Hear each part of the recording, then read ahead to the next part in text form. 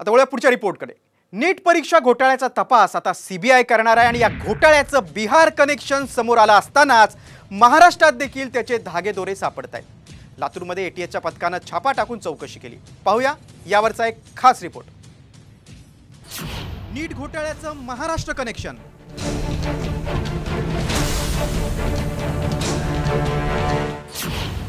लातूरमधून दोघे ताब्यात. एटीएस पथकाचं छापासत्र. लोकसभा निवडणुकीचा धुळा शांत होत नाही तोच देशभरात नीटवरून रान उठवण्यात आले. वैद्यकीय पदवी प्रवेशासाठीच्या परीक्षेत म्हणजेच नीटमध्ये घोटाळा झाल्याचा आरोप करत विद्यार्थी रस्त्यावर उतरलेत.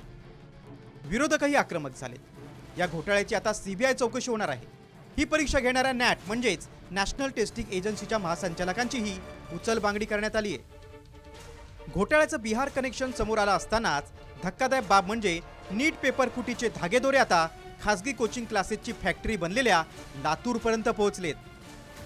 नांदेडच्या एटीएस पथकानं लातूरमध्ये दोन ठिकाणी छापे टाकले. जिल्हा परिषदेच्या दोन शिक्षकांना ताब्यात घेण्यात आले.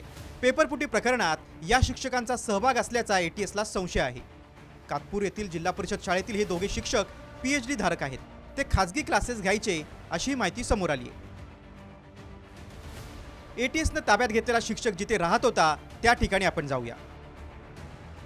काल ए टी एसच्या पथकाकडनं लातूरमधील दोन संशयित शिक्षकांना जे जिल्हा परिषद या ठिकाणी कार्यरत आहेत जिल्हा परिषद शाळेमध्ये कार्यरत आहेत त्यांना ताब्यात घेत त्यांची चौकशी करण्यात येत आहे. मी त्यापैकी जलील पठाण नावाच्या जे शिक्ष संशयित शिक्षक आहेत त्यांच्या या घरापाशी आहे. या ठिकाणी ते शिक्षक जे आहेत ते शिक्षक राहायचे.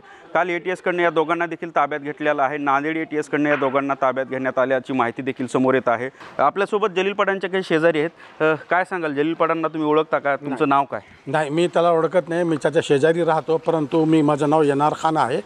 आणि सदरीत जे घटना झालेली फार दुःखदायक घटना आहे आणि आपल्या भारतामध्ये चोवीस lakh student NEET M B B एसच्या परीक्षेला असतात आणि हा घोटाळा जर बघितले असताना फार मोठा घोटाळा झालेला आहे. एकेकाळी दहावी बारावीच्या परीक्षेतील यशाचा लातूर पॅटर्न प्रसिद्ध होता. आता इतरही परीक्षांसाठी विद्यार्थी लातूरमध्ये येतात. लातूरमध्ये नीट जेईच्या तयारीसाठी मोठ्या संख्येनं विद्यार्थी खासगी कोचिंग क्लासेसमध्ये प्रवेश घेत असतात.